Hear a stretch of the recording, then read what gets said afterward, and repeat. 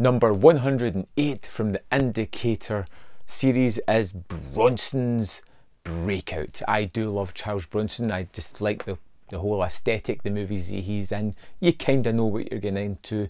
Again, this is one of the 15 movies, it sounds crazy to even say that, that he co-starred with Jill Ireland, his wife. Uh, this one also stars Robert Duvall, and we get Bronson as Nick, a kind of pilot who is willing to do whatever he can to make some money.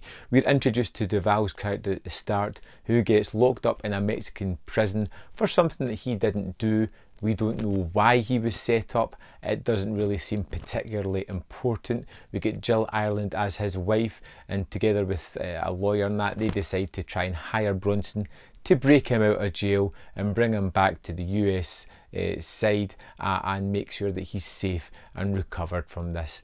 And it is a movie that is really inconsistent with its tone, but is ultimately really enjoyable.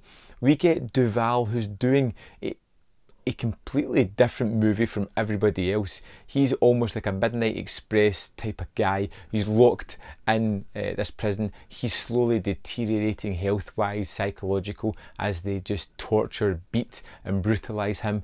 And then we get Bronson's Nick character, who seems to be any kind of uh, almost borderline comedy who keeps trying to break him out of jail but failing.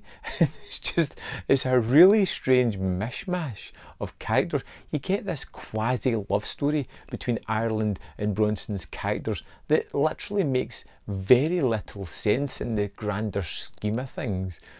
But it's incredibly fun. There is uh, at least one unbelievably amazing shot in this movie that was just it's just so wonderful to see. It's a scene where there is a car, a helicopter, and a plane all in tandem driving along at the same time, and you just get this long shot of each of them.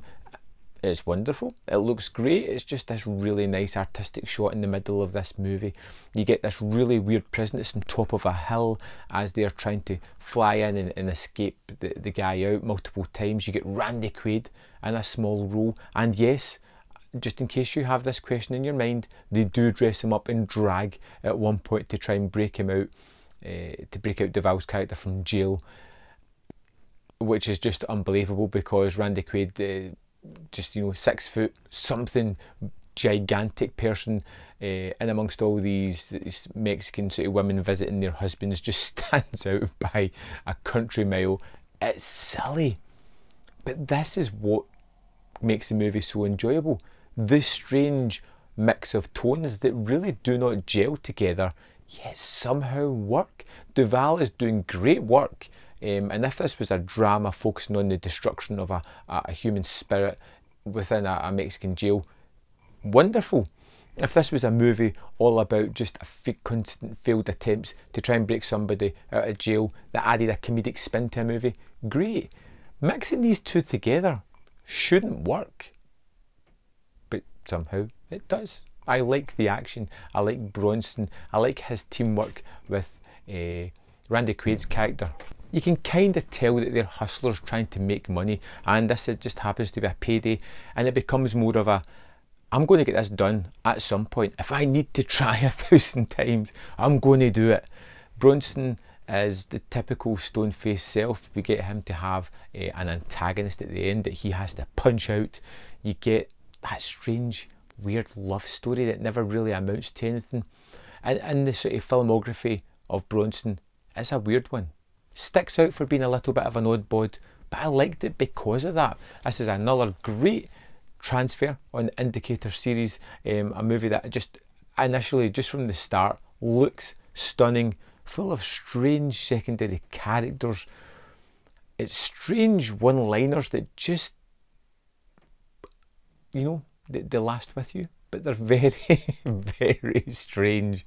Um, and again, I'm not going to spoil these things for you because I think you need to discover them yourself.